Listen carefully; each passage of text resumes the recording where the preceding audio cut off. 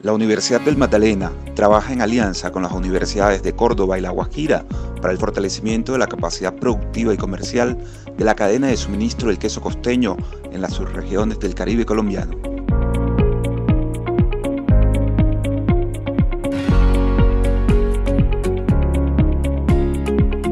Que todo el que llega prueba, toca.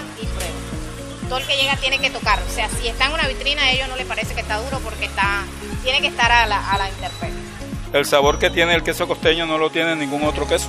Este proyecto significa darle un lugar que, merece este producto de queso costeño.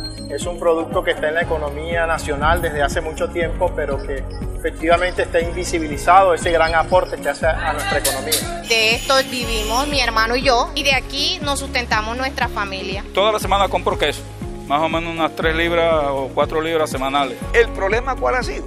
Es que no ha habido un gran proyecto ¿cierto?, de industrializar lo que nosotros producimos.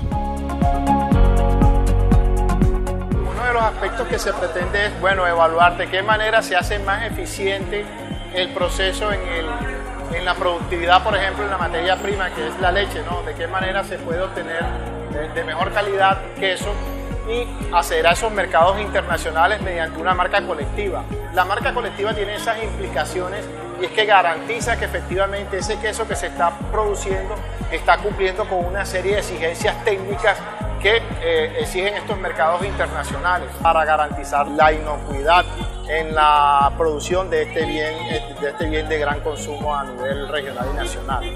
Además de eso, pues eh, pretendemos facilitar que se dé la asociatividad productiva eh, con respecto a la producción y también generar una marca colectiva que fortalezca esa parte de los, de los intangibles que tiene este producto a través de la marca colectiva Queso Costeño. Al final lo que se quiere es que se dé una planeación en el aprovisionamiento de esta cadena de suministro para que se dé una producción estandarizada y de mejor calidad del producto de queso costeño y que se pueda llegar al mercado de una mejor manera. Universidad del Magdalena, aún más incluyente e innovadora.